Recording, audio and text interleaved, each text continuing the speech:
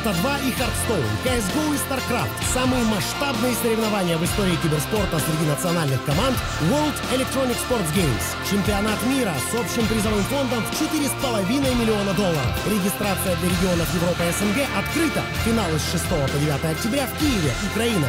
Выиграй свой слот для участия в финале чемпионата мира. Регистрируйся прямо сейчас.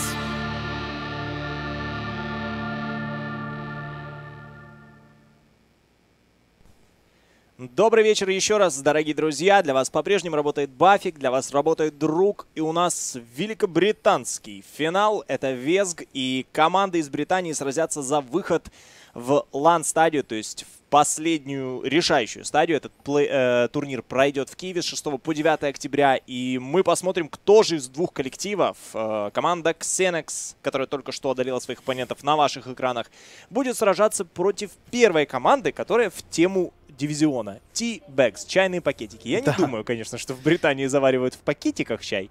У меня есть подозрение, что там все более... Да ладно тебе, делают. я думаю, все там заваривают. Причем, причем по два, по три, да, да, по четыре да. на, да. на семью. Да не, ну смотря какая семья, как бы иногда и один на пять раз, как бы тут уже от семьи зависит. Такое, Бедная, да. богат, такое дело.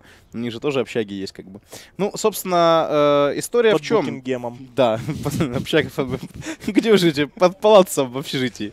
Э, ну, собственно, друзья, э, и правда, игра очень важная для команд. Э, и выиграли они одинаково, что те 2-0, что другие 2-0 выиграли. А, причем единственных ирландцев, которые добрались до полуфинала, обыграла команда T-Bex. Обыграла в довольно простой игре, и правда, я смотрел окончание. И что-то подобное мы видели в нашем с тобой матче, вот буквально вот один в один это дает нам надежду на то, что это противостояние будет более э, таким, знаешь, как-то ровным, наверное, что ли, равным, где-то даже, наверное, э, интересным, потому что предыдущее, ну, сложно называть интересным. Там все-таки как-то больше в одну калитку получилось, ведь уровень команд э, разнится. Здесь будем надеяться, что все будет э, поприятнее нашему глазу и глазу зрителей. А, ну, и действительно, на кону очень много стоит. На кону поездка в Киев. Еще раз можно говорить о том, что э, такие турниры дают возможность многим командам показать себя, многим игрокам, в первую очередь, проявить себя на большой сцене. Турнир очень серьезный, денег тут крайне много. То есть, ну, представьте, вы приезжаете в Киев на лан-финалы, на 20 коллективов в октябре. Э, все, естественно, вам оплачивает э, компания, которая организовывает. Естественно, вы приезжаете в хороший город, красивый, играете там на довольно большую аудиторию, да. И, соответственно, вы играете на 200 тысяч долларов. 200 тысяч долларов.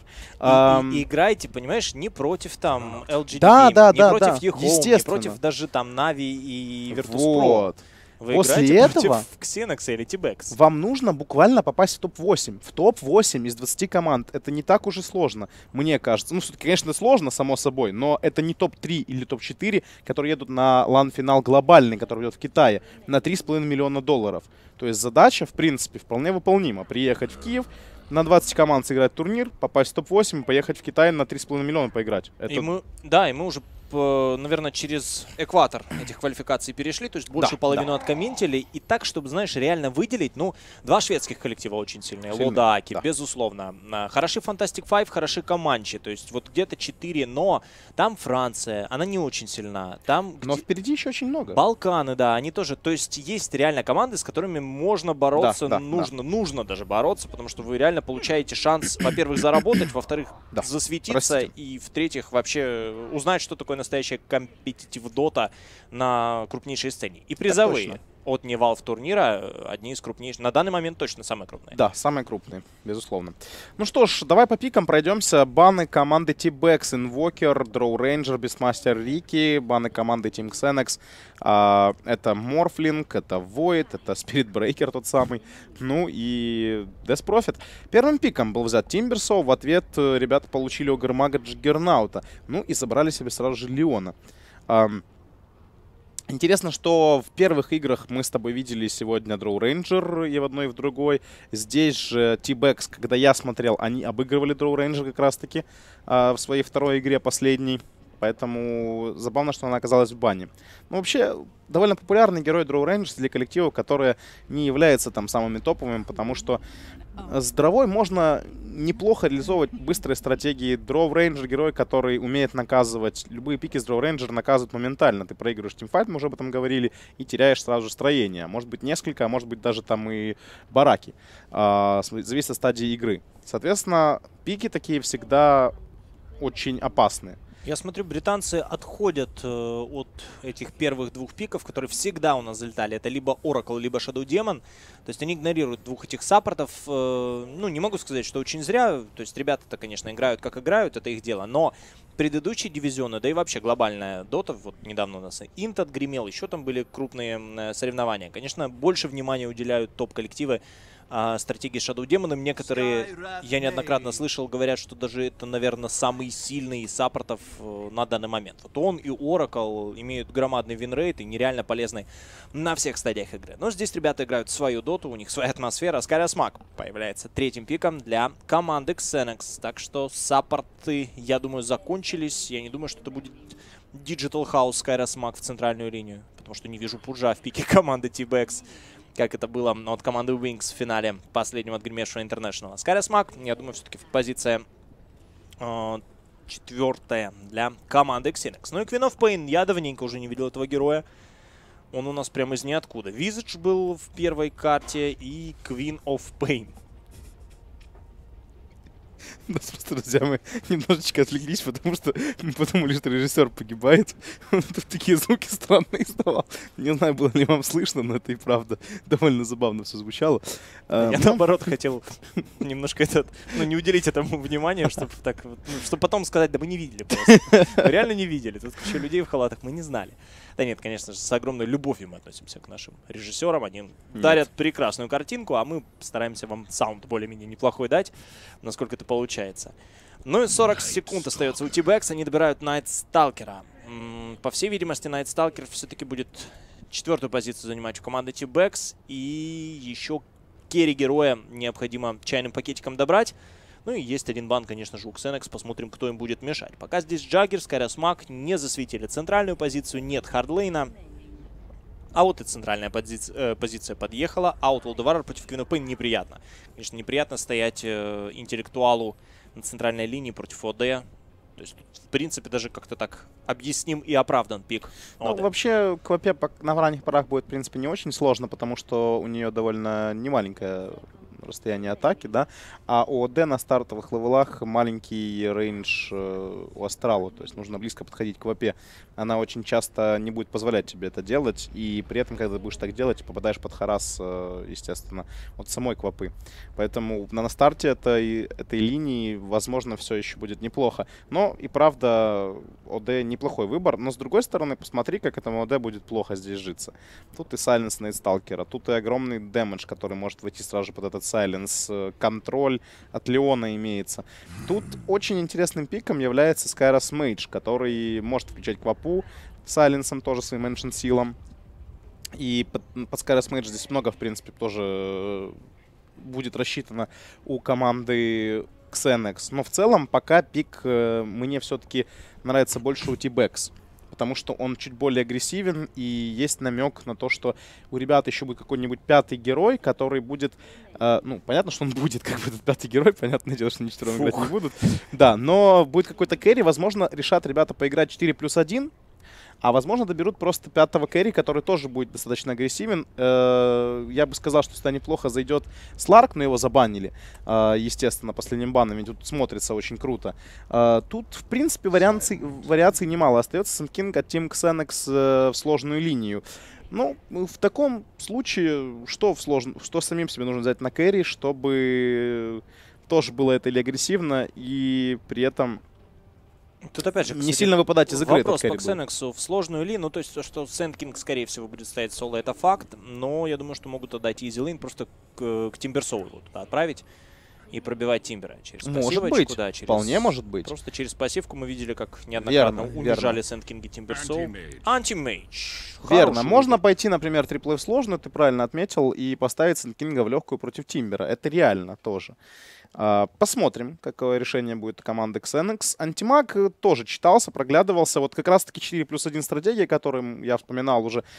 Все-таки решили так, ребята, брать пятого героя, на которого будет расчет, если что-то пойдет не так. Э, Такой себе план Б. И антимаг это шикарный для этого герой. Он тут здорово смотрится. Да, Мьют забирает Сент Кинга. Но по есть- игре будет ему тяжело, потому что тут и сайленс имеется, и контроль, стан от Сентхинга, и от э, Огрмага имеется, поэтому тут э, антимагу придется аккуратничать, аккуратничать по игре. Да, в принципе, Джаггер не самая простая цель, не самая простая цель для антимага. Потому что герой мягковат, особенно для физ дэмэджа, тоже на ранних этапах. Там ранний шестой, например, Джаггер получит, и с умни слэшем под подкопчик какой-то может пострадать антимаг. Но еще раз стоит заметить, друзья, вся теория нашей, вся наша аналитика 2К а, периодически разбивается об исполнении, не вполне удовлетворительное. Мы это наблюдали от команды No Shaker, No Earth Spirit, точнее, да. А, потому что вот ребята классный пик взяли, у ребят все хорошо, баланс крутой, физ дэмэдж, Magic прокаст потрясающий, но исполнение реально хромает. То хроносфера не зайдет, там, то подушка как лягушка, то одеяло убежало. Все всегда м, ситуативно, поэтому посмотрим. Тибекс хорошо э, сыграли полуфинал, они реально там задавили своих соперников, несложные матчи, но мы не можем точ- с точностью сказать, что они одолели какого-то серьезного соперника. Может, там команда была еще слабее, так что на практике уже будем смотреть. Да, ну пока тут ребята в смоке продвигаются, вроде ничего интересного не намечается, потому что не высовывается TEABAGS, не идут на рожон. Ну, давай скажем, наверное, кто на ком играет. У команды Xenex начнем с них. Все-таки Чига сыграет на Ogre Mage, Мипа Outworld Devourer, Ватсонс Water сыграет на Джаггернауте, Мьют 242 Sand King, ну и Вонка на Skywrath Mage. Ну и со стороны команды T-Bex э, Гавнер будет играть на Найтсталкере, э, Тех Кёрт будет играть на Queen of Pain, Джеки сыграет на Антимаге, Экспер будет играть на Тимберсоу и К-19 играет на Леоне. Пикс как с одной стороны, так и с другой вот реально сбалансирован. Вот смотрю, и в- лейт имеет потенциал выхода, и команда T-Bex и Xenix потрясающе мощный. Вообще, все еще я стою на той мысли, что кто как отстоит стадию лайнапа, кто, кто как что вывезет по артефактам, насколько раньше, чем их оппоненты. Так, в принципе, может тенденция игры и дальше протекать. Ну и посмотри, какая интересная позиция у двух саппортов. Вообще какие-то страшные перемещения. Ты посмотри, что делает сейчас Тибекс. Они пока э, перемещают своих героев. Ну, тут выход в центр, попытка убить сразу же Тимберсоу. Ну, не самый простой герой для убийства на старте, но неплохо его разминают ребята. Возможно, дэмэджа и хватит. Есть у него Фейри Фаер, он спасается. Подходит Лен, хорошо копает Огрмага, начинает пробивать по нему также Квапа, нехило. Ну и Войдом добивает его Найтсталкер. Отлично сыграно, хорошая реакция от Тибекс. Они очень долго стояли саппортами Блисмида и ждали, ждали, куда же отправиться, чтобы как-то законтрить э, команду Xenex, ведь они тоже понимали, что ставить э, один на один Sand King а, Тимбера против Sand King а не стоит. И свои они поставили таким образом, чтобы обезопасить себя от этого. Да, и ну вообще получается интересно. Квапа у них идет в легкую, в миде стоит Тимбер, он стоит против ОД. Тоже, в принципе, не самая приятная будет линия для Тимбера, он особо ОД вряд ли что-то сможет сделать, но при этом сам Тимбер может просто стоять и фармить. Он тоже не сильно боится. Но если появится Arcane Orb там со временем, конечно, Тимберу будет чуточку менее приятно, потому что Arcane Orb наносит пьюр урон, то есть чистый. А Тимбер, конечно, от этого чуточку страдать будет. Вопрос, опять же, как э, реализует себя антимаг в хард-линии, потому что прошло уже две минуты, три крипа всего лишь добил антимаг, на фоне того же Джиггернаута там семерка. Мы видим у э, этого персонажа, то есть он гораздо комфортнее себя чувствует, стоя против Квапы. Квапа вообще крипов пока не нюхала, но слишком долго перемещения были по лайнам, пока ребята определили свое место, эти кочевые абсолютно пики героев. Ну, а, смотрим, смотрим. Отвалился в это время Чига на Угармаге. Вроде как FPS у него проседает. Сейчас разберется с этим вопросом. Вообще, лайнап интересный. Мне, меня до сих пор для меня открыт вопрос, как антимаг здесь будет стоять с этой парой саппортов. Получится ли у него выформить свои слоты, потому что тот же Сент Кинг пробивает антимага на старте плотненько. Герой не самый жирный, то есть проблемы у него по ХП имеются. Глянем. Глянем. Ну, 242-го классно здесь гоняет команда TBX, уже половину хелспоинтов. Очень много дает Найтсталкер на этой линии ребятам из TBX, потому что он много может себя впитать. Он такая стена. Э, чтобы как-то добраться до антимага, нужно пройти через Найтсталкера. Он выступает барьером. И пока это неплохо делает. Он понимает свою мощь, он бежит просто на Skyrus Mage, там вот на нижней руне, например. То есть он вообще не боится. Тут, кстати, Скаймаг нашел э, руну ускорения. Прикольно. Я думал, похарасит немножечко Найтсталкера. Нет, вообще. Решил, что это не надо. Есть вариант послабее персонажам пораздавать дэмэджа. Вот именно. Um, ну, пока в центре по крипстату мы видим, что гоняет своего оппонента от World Devourer все-таки. В хлам просто. Причем, да, в хлам. Ну, вряд ли это должно быть прям вот настолько флам, насколько сейчас. То есть там 3 на 13 это несерьезно. Но в целом история, в принципе, понятна. И правда, ОД стоит хорошо против Тимбера. Ровно как, в принципе, и Тимбер против ОД, но только может хорошо контролировать ластхиты как раз-таки Тимбера ОД. Прятать его в астрал там свое время под ластхиты. А, сам хорошо, имеет отличный дэмэдж, добивает крипов очень удобно. И там внизу у нас Леона убивает, драка продолжается. Возможно, погибнет и Сент Кинг. Отлично, это ответный килл. Но, наверное, такие размены приятнее для команды TEABAGS, потому что э, выживает антимаг. Самое главное, чтобы антимаг жил, он получает деньги с ассистов, он получает деньги с киллов, если такие делает. Ну и при этом добивает крипов. Как бы ни много ни мало, но десятку он уже выбил. Да, есть... Sand King э, в итоге не так комфортно себя чувствует, как мне казалось. То есть Sand King даже Timbersaw, такого очень плотного героя, э, слишком напрягает. А здесь Джеки реально на курорте вот, находится. Вот все много благодаря, я же тебе говорю, Найтсталкеру. Потому что этот парень выступает реально классным барьером. Он молодец здесь. Да, как там Джаггер поживает на допе. Но у Джаггера ситуация гораздо комфортнее. 20 Там у нас снова драка внизу завязалась, тебя перебьют, уже звени, да, там да, угор мага. Э, пытается убить ребята, но получает в ответочку на Сталкер немало урона, его убивают. Антимаг неаккуратно играет, но он понимает, что маны у Сэнкинга просто нет и действовал по ситуации. Но этот размен не в пользу команды. Тибекса не теряет своего как раз-таки вот этого фронтлейнера, Night Stalker а. А Квапу, посмотри, как загнобил Джаггернаут. Причем оставили-то Джаггера в соло. И Джаггер 21 на 9 имеет. Queen of Pain, бедняга, бегает от него. 8 на 1, и только сейчас перемещается к ней Night Stalker. Этот парень, который напрягал нижнюю линию, теперь отправился с Джаггернаутом разговаривать. Квапа просто бегает, там Ogre Mage отдается Рошан, причем долго очень отдается. Ну, Квапе сложно стоять на такой линии, она не короткая, как мид, например. Там Квапе с Джаггером куда проще стоять было бы, потому что Джаггер бы не смог так подойти, нахарасить ее, прогнать. Здесь Квапе и правда сложнее.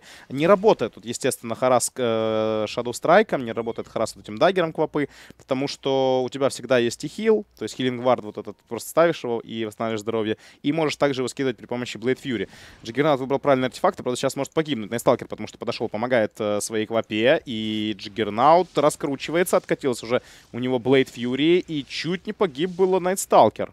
Да, немного move speed а не хватило. Если бы Джаггер хотя бы на разочек еще продамажил НС, то рассыпался бы Night Stalker.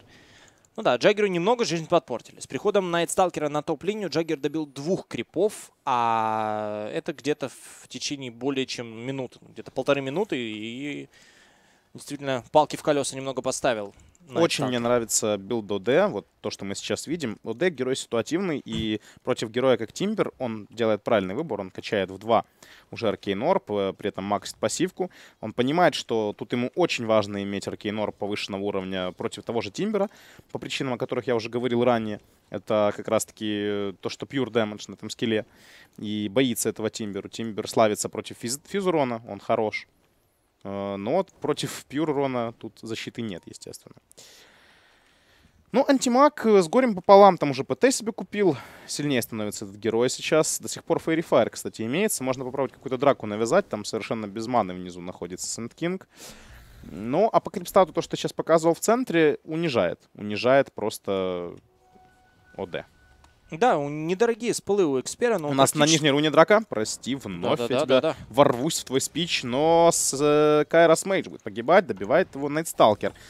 Ну, драться, конечно, ночью против Найтсталкера на руне это не лучшая идея. Антимаг дерется один на один также с Огрмагом. Правда, без поддержки остается. Сенкин копает параллельно Леона, он его убьет. Леон лопнул тут... по Джеки немного. Кстати, Леон. Джеки дэмэджа нанесло и уходит отсюда. Тимберу сложно. Тимберу нереально сложно, потому что через Аркейн Орб э, Тимбер, я смотрю, там у него в среднем 250 манапоинтов, там 270. Ну, то есть реально тухловато все это выглядит. И тема славится ОД. через Аркейнор просто стилит интеллект, и тем самым, кстати, и добивает крипов получше. То есть, естественно, все это объяснимо, почему 42 на 16 у Мипа и 13 на 2 у Timbersaw. Мы видели проблему, наверное, в Sand King е для Timbersaw, но понимаем, что ОД в руках команды Xenex не, не самая приятная заноза. Ну, вон так, поймали. на топе у нас там действительно... Да, Вонку, скорее всего, заберут. Здесь э, нет, не забирают. Не забирают. чего бояться? Бояться Omnislash на самом деле. Вонка понимает, что доб добьет его, скорее всего, даггер. И пошел, отдался просто нейтралом. Night Stalker. Silence по Джаггернауту. Продолжения нет. У Джаггернаута есть Omnislash, в случае чего он может тут и перевернуть ситуацию в свою пользу. Как бы здесь не встряла Квапа. Крипы подходят, поэтому уже не так страшно. Вообще, посмотри, как у нас стояли соло-линии Xenex. Все э, лидируют все кор-персонажи лидируют.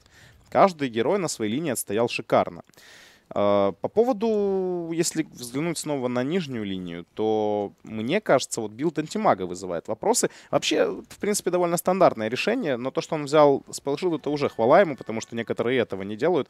В этой игре без спелшилда будет крайне сложно.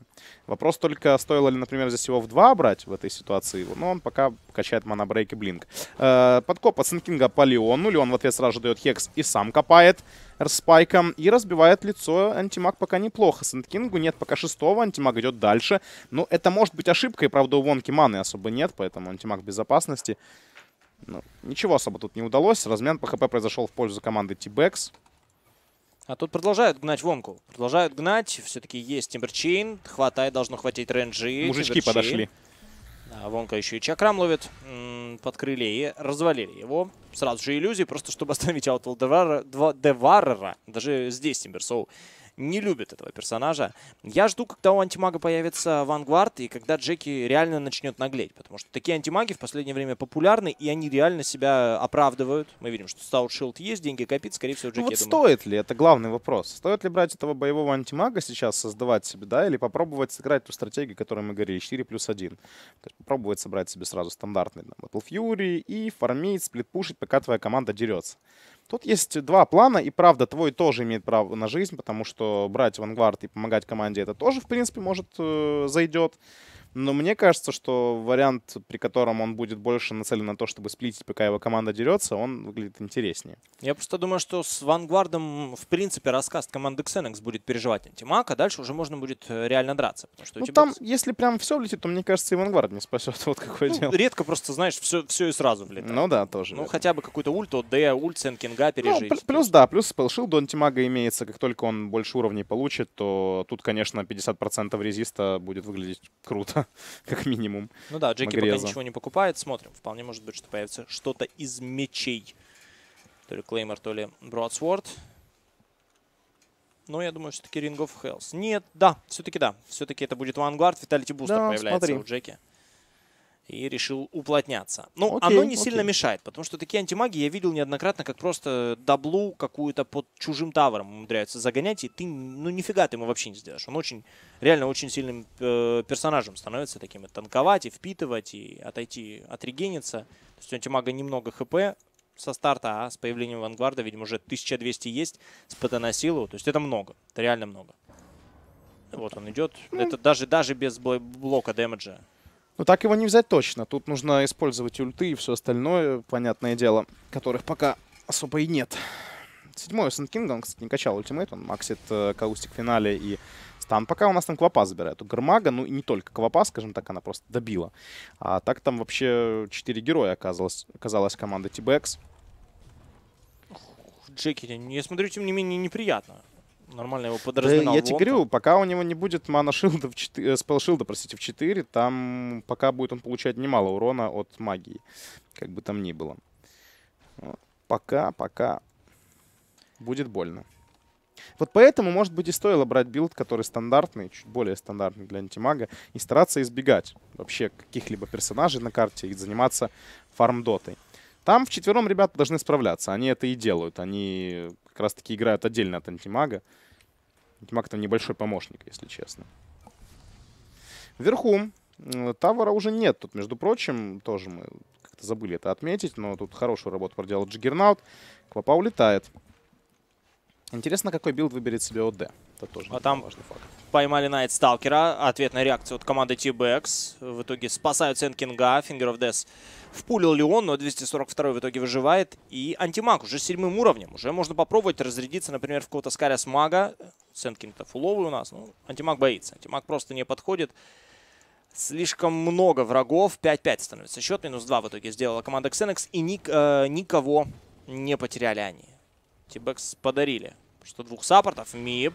Дальше по Тавер. Квапа наорала, надо кричать на играет. него. Есть ульта и не хватило дэмэджа, к сожалению, Джеки. Если бы он забрал этот фраг, то сразу же был бы готов вангвард, и можно было бы бежать и резать людей. Ну, Ну, тут, безусловно, ошибся ОД. Он как-то просто опрометчиво глубоко зашел, причем остался без поддержки. То есть как-то он, он побежал, а команда не побежала.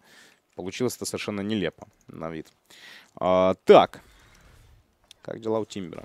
Тимбер в миде фармит. 21 на 2, 22 на 2, 12 минут. Плохо. Реально плохо дела у Тимбера. Да, есть Совсем такое дело. плохо. Там, кстати, Джаггер жд 2 пушит наверху, если что. И пока никто туда не направляется, вот только сейчас находит инвиз Тиммер, едет в верхнюю сторону. И тоже делает Леон. Кстати, мне кажется, они вдвоем могут и неплохо его размять. Через Хекс, через станчик. Посмотрим. Леон выходит. Есть Хекс. Будет стан продолжение. И идет сразу же чек-рам. Ну, Джиггернаут не парится. Нажимает ультимейт на Леона и делает килл. Причем выкручивается. Нет ТП. Это минус. Тут можно и погибнуть. Хиллингвард нужно разбить. Молодец. Это все четко делают ребята. И убивают Джиггернаута. Джиггернаут сам как будто в двух ногах запутался. Непонятно, куда он. Если он хотел мансить, то это немножко не так делается. Ну, очень важно иметь телепорт с Джиггернаута в таких ситуациях. Вот сейчас он сразу же его себе приобрел и бросил в инвентарь. Был бы было бы ТП, он нажал бы просто Blade Fury и улетел. Мип а- опять очень далековато прошел. 242 можно попробовать съесть. Есть Mana Void у Джеки, но маны очень много и у Мипа, и у... А может на развороте? Подходит Ogre Mage. Lion получает стан от Огра, причем multicast, копает также Sand King, но сразу же бежать Ньюту. Хороший ultimate полетел от OD. Антимаг, он без маны совершенно, и никуда он тут не должен деваться. Ребята погоню продолжают, еще удар нужен от OD. Он его делает, double kill для Outworld Devourer. Вот это отличный поворот получился. Там, кстати, Night Stalker чуть не погиб еще тоже, но он, правда, спасается. Последний голубь его чуть не добил. Да, как-то рано лезет на рожон антимаг. Реально рано, и это время бы в хороший фарм потратить. А так антимаг у нас пятую позицию занимает по а, Нетворсу. Видим, что никуда с первых позиций Xenex не хотят отправляться. МИП на первом месте. Дальше Ватсон Уотер идет. И дальше Мьют 242 на Сенткинге. Пару раз. Ох, выбор первого артефакта. Обратите внимание, для Sand King а. Это будет Аганим, а не Dagger. Такие делихи. Интересное решение. Вызывает определенные вопросы, конечно, но это, это нормально. Ничего критично- критичного в этом не будет, если он купит его довольно быстро. Но Dagger все равно нужен этому герою, как бы там ни было. Копает, между прочим, Sand King сейчас Lion а. Полетел Arcane Bolt, и там сразу же Arcane Orb подходит, тоже от OD дает. Один второй double kill уже для OD, он просто такая машина для убивания сейчас. Ну и получает э, Ignite, тоже Night Stalker, может и он Три погибнуть. удара. Какой же damage вносит Outworld Devourer. И Джеки, по-моему, жертва под номером 4. Успеет ли улететь? О, тут его встречает Sand King, есть подкоп, есть ultimate, и Джеки, Джеки, Джеки. Мне кажется, На имя тебе. Джеки проклято. Ultra kill. Ultra kill. Да, Мип, конечно, с руки наваливает нереально много, 44 интеллекта настилил он. Я просто понимаю, в этой ситуации ему какой-то BKB просто дать бы, чтобы вообще дэмэджа в него не, врывал, не вливалось. И он может стоять вот так налево-направо, всех расстреливать. Сейчас OD оправдывает себя целиком и Вот полностью. смотри, какая история. Сейчас бы антимаг мог бы сплитить, мог бы пушить Т1 tower вверху, в миде, что-то делать полезное для команды, зарабатывать деньги, пытаться перевернуть ситуацию. Но так он бесполезен получается совершенно. Кстати, у нас там проблема могли бы быть у КВП, она на развороте тоже попыталась ответить Скайрос Мейджу, но так себе это получилось. Так вот, я к тому, что, мне кажется, решение Джеки слегка пост- поспешное Постфактум, получилось. да, ну оно вообще не смотрится теперь. Ну, то есть, ну, уже- понимаешь, драться что с антимагом, что без, здесь, ну, крайне сложно. Я понимаю, что антимаг может сесть там на голову какому-то Скайрос магу, развалить его, но для этого нужно, чтобы у тебя остальные герои прям очень четко все делали. Но если не буду делать все настолько четко, то и антимаг там особо не нужен будет, по-хорошему. Понимаешь, там антимаг на голову Скайросмагу может сесть, когда у него Манта Стайл есть и Battle Fury перед этим. Вот тогда действительно он прыгает и распиливает пополам Скайросмага. А так у антимага Ну, то есть вообще все очень Так об, кисло об этом смотрится. же и речь, что покупка Вангварда выглядит довольно сомнительно в миде. Чуть не погиб было. Тимбер, ох, не попадает. Сантис Эклипсом ОД. Это же еще и под Бладластом. Это громаднейший дэмэдж. Конечно, залетает. конечно. Тут просто моментально там быстренько бьет OD, быстренько бегает, все здорово. Посмотри, тоже хорошо зашел. Мип просто слушал. Слушал трансляцию. Появляется Ogre Club. Понял, всего предостаточно. Скорость атаки громадная, damage огромный. Чего мне не хватает? Защиты от магии. Все, просто быть Ну, неуязвимым. я не думаю, что это будет BKB, я думаю, что это будет пика в итоге. Ты думаешь, Dragonlance? Да, да, да. Я практически не сомневаюсь в этом. Нет, может быть, он соберет, конечно, BKB, но мне кажется, это будет все-таки пика. Леон получает сайленс, нужно и его добить. Также ОД. Ударчика буквально не хватило. Но ОД пока старается не подставляться. Все-таки у него нет Аеги. Антимага пока подкопали и убили через Кайрос Мейджа и Сент-Кинга. Ну что, друзья, похоже пока на очень быструю игру под номером один для Да, команды форстафает Xenix. себя дальше еще Мип. Хотел поймать здесь Queen of Pain. Но он и сейчас руки наваливает нереально много. Вроде вообще не пуш стратегия со стороны команды Xenex. Вот вообще не пуш. Вот Ну. Это уже получилось не переедем стратегия. Да, действительно, все так не получается. Центральную линию продавили. Сносят Т3. Крыть нечем команде Teabags. Антимаг недееспособен. То есть его пик выглядит вообще неубедительно. Билд тем более. Мип толкает себя вперед. О, там, кстати, Аганим прилетел Sand King, он копает Тимбера, Тимбер под сайленсом, получает Arcane Bolt, еще один kill был теперь уже по Night Stalker у, минус 2 делает команда Xenix, пока все выглядит очень-очень плохо для Teabags. Копает Sand King еще раз, на этот раз жертвой стала Квапа, и ее в таверну отправили. Минус 3, и эта сторона, скорее всего, падет. Да, и Hurricane Pike готов для Outworld Devourer а. Мобильности теперь хоть отбавляй, да и в целом дэмэджа очень много. Juggernaut получает Finger of Death, но К-19 100% приплыл. Полтора Arcane Orb а надо было от Triple Мипа. kill для Мипа. Мипа. э, Мип собирает вообще в этой игре себе мультикиллы. То сделал у нас там ultra kill, теперь вот triple kill. Несколько даблов есть. Но да, 11-1 идет. Это герой. И все, отправляются ребята вниз. Есть Healing Ward, можно и танковать спокойно. Т2 tower, причем Мип его толкает, танкует. Даже не Джаггер и не Sand King. Ну ладно, не жалко. Ой-ой-ой, на пол карты просто Night Stalker а здесь копнули. Мип получает сайленс. Все, спадает. Ну, вообще тут какое дело? Защищаться как-то нужно Teabags, если они собираются выигрывать, потому что вторую линию отдать здесь смерти подобно. Особенно, когда у тебя антимаг с вангвардом, а не с БФ отпушивать очень сложно. Таких крипов будет вообще нечем, кроме Тимбера и там где-то Квапа. Но Квапа, она тоже со временем становится не такая серьезная. Против этих крипов придется несколько скримов откидывать, чтобы как-то их отпушить. Eclipse, кстати, есть. Четыре тычки в э, Тимбера. Домой. Развалило просто бедного парня. Там еще ульта от Джиггернаута залетела в Леона. Ну нет, нет. А это чересчур Не похоже на то, что здесь Тибэк смогут перевернуть. Просто не похоже. Сандкин копает, не попадает по квапе, к сожалению, но барак потихонечку допушивает. Все, сломались. ГГ пишет говнор, и вы знаете, ну просто, просто в один момент все поломалось. У Тибекс, что стоит э, сказать по итогу этой игры? Во-первых, линии. Все три линии были отлично отыграны командой Xenex. И соло-линии отыгрались на ура. И вот это вот э, Сент Кинг, который переезжал в итоге антимага на этой линии тоже. Они там хорошо, хорошо, хорошо проводили размены. То есть вообще все три линии у Xenex были сильнее в итоге. То есть они отстояли их хорошо. Вопрос задаем, Тибекс. А стоило ли тогда ставить триплу в сложную и не отправлять антимага в легкую? В итоге они пожертвовали всем. Они пожертвовали антимагом, они пожертвовали в итоге мидом, потому что я понимаю, что они хотели избежать и также Сенкинга против э, Тимбера. Вот сейчас почему не берут По сути, Тимбера они первым из- пиком? избежали фарма, на самом деле. Вот почему полностью. Тимбера и не пикают сейчас первым пиком команды, э, топ-тир команды. Потому что Тимбера можно контрить, это несложно в принципе. Э, с ним можно бороться, что нам только что доказали на деле ребята из э, Xenex. Интересно, что будет в следующей игре, но пересмотреть нужно в первую очередь пики и во вторую очередь решения свои игровые, потому что вот эта постановка лайнов и в итоге выбор э, артефактов э, антимагом вызывает огромные вопросы. Ну, не нужно было здесь брать явно Vanguard. Это не сработало, мы можем этот факт констатировать. Тогда это смотрелось, в принципе, более-менее э, реальным, потому что ты мог бы участвовать в драках, но я уже отмечал то, что это, этот билд, он очень такой, знаешь, заманчивый. Ты, возможно, хочешь взять себе ХП, хочешь быть в драках, но антимаг немножечко не про это герой. На старте это редко Вполне работает. может быть. Я просто смотрю здесь МИП, э, свой нетворс имеет больше, чем суммарный нетворс Queen of Pain, который легкую отдали, и антимага, которого с двумя саппортами отправили в э, сложную линию. Ну и Тимберсов вообще толком ничего не вывел, э, не вывез в этом файте можем констатировать о том, что у Тибек смогла игра просто не задастся с самого старта, потому что провалили они буквально все. А если такая же тенденция э, будет соблюдаться, то я думаю, это легчайший 2-0 для Xenex, потому что в этой игре действительно они раздавили своего оппонента.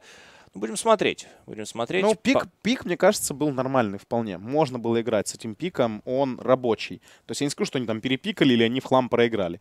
Пик был примерно вот нормальный от них и других. То есть можно играть, рабочая обстановка, решения. Повлияли в большинстве случаев решения. Но если вы берете такой пик, то вам нужно думать о ваших решениях в игре, о вашей mm-hmm. тактике на игру. Не только стратегически, да, что да. вот мы набрали героев, но нужно думать и о тактике. Все-таки, мне кажется, постановка линий решила, и вот решение уже в игре конкретно там некоторых персонажей типа антимага. Да, такая история, дорогие друзья. 1-0 э, в пользу команды Xenex. Пока будем уходить на небольшую рекламно-музыкальную паузу, минуты, думаю, на 5. И быстренько перейдем ко второй встрече между этими командами. Оставайтесь с нами. Dota 2 и Hearthstone, CSGO и StarCraft – самые масштабные соревнования в истории киберспорта среди национальных команд World Electronic Sports Games. Чемпионат мира с общим призовым фондом в 4,5 миллиона долларов. Регистрация для регионов Европы и СНГ открыта. Финалы с 6 по 9 октября в Киеве, Украина. Выиграй свой слот для участия в финале чемпионата мира. Регистрируйся прямо сейчас.